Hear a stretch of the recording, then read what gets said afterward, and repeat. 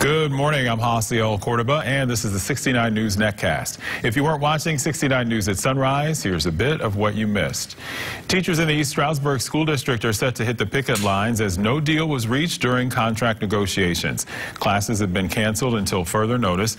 The two sides remain split on health care and salary. The teachers have been working without a contract for two years. Union members will begin picketing at 9 this morning. Part of I-78 westbound in Lehigh County was closed for several hours overnight due to a tractor-trailer crash. It happened around 1:15 between the Summit Lawn and Lehigh Street exits. Police say the driver lost control of the truck, hit the concrete barrier, causing it to jackknife. The road reopened just after 4 a.m. The driver had minor injuries. A forceful arrest in Allentown is creating a lot of buzz after it surfaced on social media. It happened early Saturday morning in the 700 block of South Fillmore Street.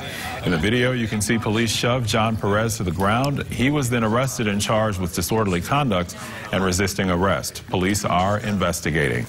After the work week, and the work week is off to a rainy start. It's set to be cool, breezy, and damp today with flood watches in effect across our viewing area as temperatures top out around 70.